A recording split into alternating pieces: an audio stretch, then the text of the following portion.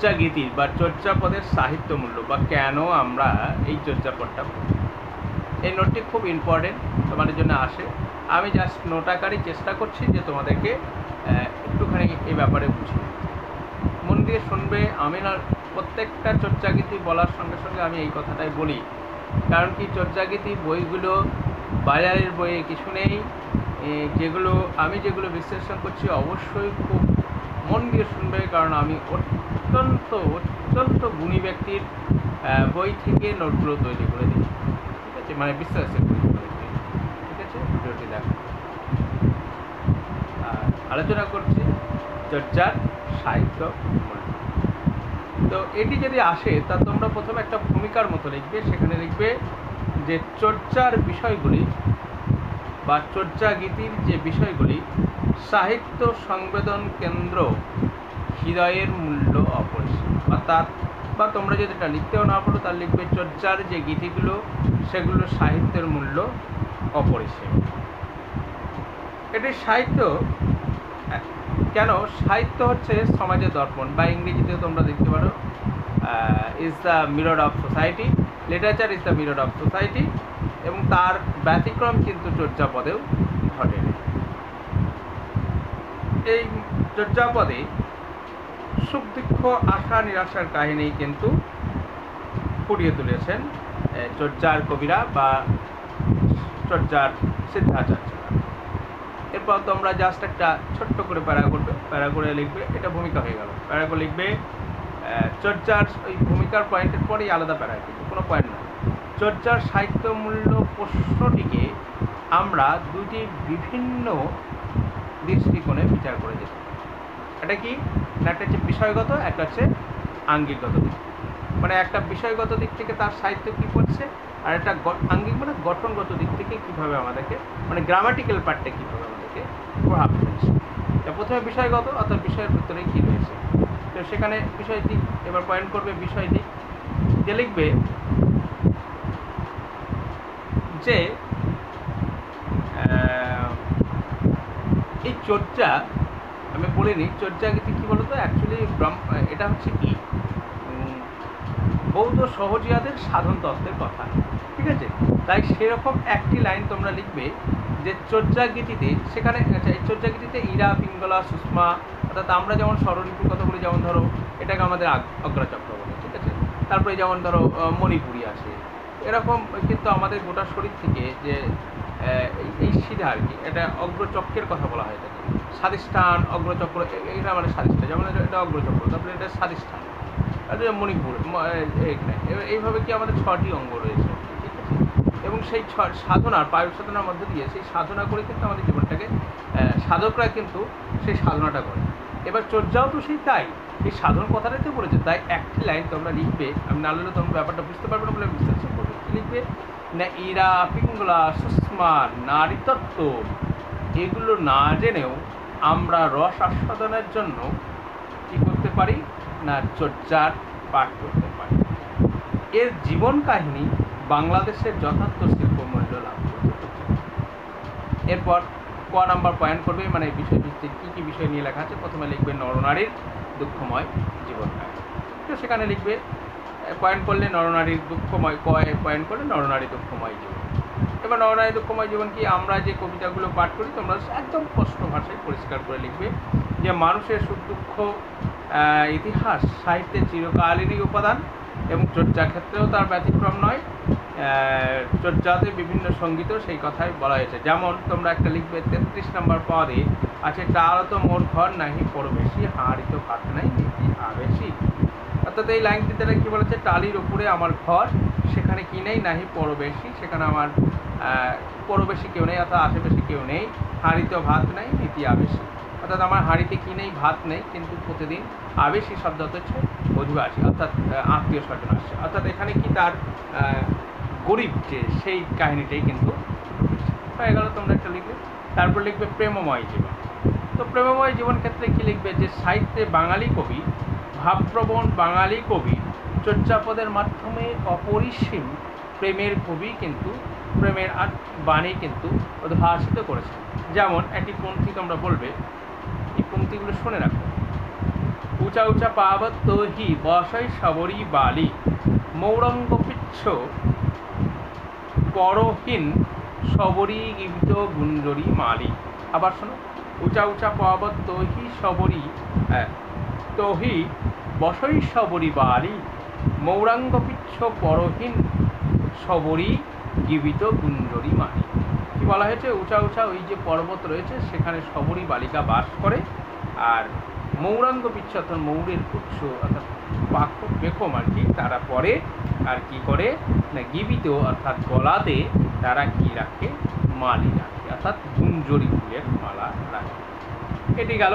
অর্থাৎ এখানের মধ্যে দিয়ে কি রয়েছে? এটির মধ্যে দিয়ে প্রমকাণী কাহিনী বর্ণিত হয়েছে। এটা গেল।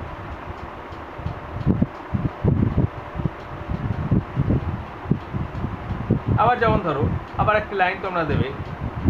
তোহর অন্তরে মুখ খুলিল হাড়েরই মালে। মানে তোমার অন্তরের জন্যেই, তোমার অন্তরে মোহ এরপর তোমরা পয়েন্ট করবে যে বাংলাদেশের প্রকৃতি। তো সে প্রকৃতিতে কি কি পাওয়া যায়? না, নিসর্গ লিখবে যে সংস্কৃত সাহিত্যের কবিরা নিসর্গ, প্রকৃতি তাদের কাব্য অবদান আবেদনময় করে তুলেছেন। গীতিতেও তার ব্যতিক্রম নয়। কারণ চর্চার যে পদগুলো আমরা পাঠ করছি, সেখানে কোনো কোনো জায়গায় বঙ্গাল থেকে বাঙ্গাল, পদ্মা এসব অনেক শব্দ কিন্তু আমরা এখানে পেয়েছি। এরপর আহ, চর্চার গীতিরা কোনো কোনো জায়গায় দেখা যায় ঘর ধর্মের গূঢ়তা বন্ধন ছেড়ে পদকারগণ কাব্যের সহজ মুক্তর আকাশ যেন অবসাদ বিনিয়োগ করেছে। যেমন তাদেরই একটা লাইন অপূর্ব বসন্ত দুকেল্লা অম্বর হয়েছে সবর অর্থাৎ এখানে মানুষ ও প্রকৃতির মেলবন্ধন আছে এরপর তো আমরা পয়েন্ট করবে, আমি যেটা বলেছিলাম প্রথমেই যে এই চর্চার বিষয়গুলোকে দুটি ভাগে করা যায়, একটা হচ্ছে বিষয়গত দিক, একটা হচ্ছে আঙ্গিকগত দিক। এরপর তো আমরা পয়েন্ট করবে আঙ্গিকগত দিক আঙ্গিকগত দিকের মধ্যে প্রথম পয়েন্ট করবে ছন্দ, এরপর ছন্দেতে লিখে তোমরা লিখবে চর্চা গীতিগুলো মূলত পদাকুলক ছন্দে লিখিত হয়েছে। ঠিক আছে? বাংলা কাব্য সাহিত্যে ছন্দ যেটা ভূমিকা রয়েছে সেটা হচ্ছে পায়ার ছন্দ গুরুত্বপূর্ণ রয়েছে। আর বাংলা পায়ারের সাক্ষাৎ সৃষ্টি হয়েছে কি চতুর্দশপদী বা চাউল থেকে চতুর্দশপদী কবিতা থেকে, ঠিক আছে? প্রাচীন বাংলায় এই চতুর্দশপদী চতুর্দশপদী যে পঞ্চক মাত্রার একমাত্রা একমাত্রা দাঁড়িতে, অর্থাৎ জ্যোতির চিহ্নতে খেয়ে নেয়, দিয়ে চতুর্দশপদী অক্ষর চতুর্দশ অক্ষরে পায়ার উৎপন্ন করে ঠিক আছে? অর্থাৎ যে আগে যেটা ছিল কি, পনেরোটি অক্ষর ছিল। সেখানে দাঁড়িয়ে একটি দাঁড়িয়ে যাওয়ার জন্য চোদ্দোটি অক্ষর দাঁড়ায় এবং এটি চতুর্দশপদী কি হয়েছে? এটি চোদ্দ অক্ষরের পায়ার সৃষ্টি করে। এই পক্তি রয়েছে চর্যাপদে যেমন তোমরা একটা লাইন দেবে।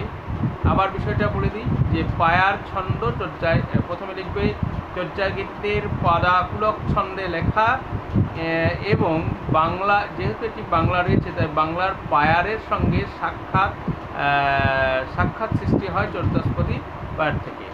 এবং চর্যাপদে কিন্তু এই পায়ার ছন্দের লক্ষ্য করা যায়।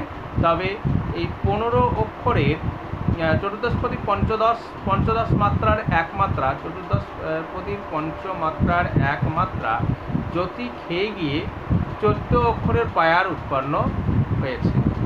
এই উৎপত্তি ইঙ্গিত যেমন চর্যাপদে রয়েছে তোমরা লিখবে নেতি নেতি শিয়াল নিচে লাইন লিখবা সিয়ে জম চুপ তার নিচে লিখবে ঘেন্ডন পায়ে গীত তার নিচে লিখবে বিরলে বুঝয় দি ডবল দাড়ি এখানে কি ছিল? না এটা একটা বিশ্লেষণ করে লিখতে হবে তোমাদের। আট যুক্ত ছয়। আচ্ছা এটা আমি তোমাদেরকে আহ, ভিডিওতে দেখানোর চেষ্টা করি আর যে লাইনটা আমি বলছিলাম দেখো নিতে নিতে শিয়াল সিনে জম জুঝেও ঢেন ঢন পায়ের গীত বিরলে বুঝয়। এটা কি লেখা আছে? না, আট যুক্ত সাত মাত্রায় এই ছন্দ পায়ারে কি হয়েছে? চোদ্দ মাত্রা হয়েছে প্লাস আট যুক্ত ছয় মাত্রায় হয়ে উঠেছে। পরের অক্ষরের একমাত্রিকতার ফলে আট যুক্ত ছয় মাত্রা, আট যুক্ত ছয় অক্ষরে পরিণত হয়ে গেছে। এবং চর্যাগীতিতে একটি সাতাশ মাত্রার পদও পাওয়া গেছে, যাকে ত্রিপাদিক ছন্দ বলা হয়। যেমন আট প্লাস আট এবং এগারো এই বিভাজনে ভেঙে দেখা হয়েছে। বাস, আর কিছু লেখার দরকার নেই। তারপর তোমরা চলে যাবে যে কি অলঙ্কার না অলঙ্কারে তোমরা প্রথমে এটা কি লেখা আছে সেটা দেখার দরকার নেই। অলংকারে আমি যেটা বলছি সেটা লিখবে। অলংকারে লিখবে যে যেমন বাড়ির মহিলাদেরকে নানা রকম অলংকার কানে নাকের দিয়ে সুসজ্জিত করা হয়। চর্যাপদে কবিগণ্য সেরকমই নানা রকম আলাং অলংকারিক যেমন ধরো দার্থ অর্থ প্রকাশ করার জন্য রূপক। আমি পরে বিশ্লেষণ করে দিচ্ছি। উপমা ব্যবহার করেছে রূপক, উপমা, অতিশয়, অনুপ্রাস স্ল্যাশ বিভিন্ন ধরনের অলঙ্কার প্রয়োগ করেছেন। যেমন তোমরা লিখবে রূপক রূপক লেখার পর প্রথম লাইনটা দেখো, কা তরু বড় পঞ্চবিডাল। এর অর্থ কি? না, বৌদ্ধ সহজিয়ায় যে পঞ্চ ডালের কথা বলা হয়েছে, সেই পঞ্চ ডাল কি কি? সেই পঞ্চ ডাল হচ্ছে সেই পঞ্চ ডাল হচ্ছে রূপ বেদনা সংজ্ঞা সংস্কার বিজ্ঞান। রূপ বেদনা সংজ্ঞা সংস্কার ও বিজ্ঞান। ঠিক আছে? তাহলে এখানে এক কথা বলছে কি কা তোর বড় পঞ্চমী ডাল অর্থাৎ কায়ের মধ্যে পাঁচটি ডাল আছে কিন্তু এর মধ্যে দিয়ে কিন্তু সহজিয়া কথা বলা হচ্ছে। একটা রূপ উপমা দিয়েছে যেমন মুঠা দিব মাঠ দেখিলা অব। ভব তরঙ্গ কি আহ, শোষয় অব। দুই ডাড়ি করেছেন কমপ্লিট এরপর একটা দিয়েছে মানে তুলনা করেছেন আর কি। এরপর একটা দিয়েছে বিরোধাভাস। নীতি নীতি শিয়াল শীষে জম জুছিতে ঠিক আছে? তারপর আলাদা একটা প্যারাগ্রাফ করে এটা লিখবে, কাব্য ভাষার সার্থকতা, বাক ও অর্থের অবিনাশ সংযোজক ঠিক আছে? শ্রেষ্ঠ কাব্যের ভাষা এই হরবৌলি মিলন লক্ষ্য করা যায়। চর্যাগরিতে এই নিখুঁত নৈপুণ্য না থাকলেও রীতি সচেতনতার নির্দেশ একেবারেই বিরল নয়। ব্যাস, স্যার, এইটুকু লিখেই তোমাদের এখানে কমপ্লিট হয়ে যাবে। আমার ভিডিও বা নোটস যদি তোমাদের ভালো লাগে, অবশ্যই তোমরা আমার ভিডিও আমার চ্যানেলটি অবশ্যই সাবস্ক্রাইব করবে। তো আরও কী ধরনের তোমরা ভিডিও পেতে চাও, সেটা অবশ্যই আমাকে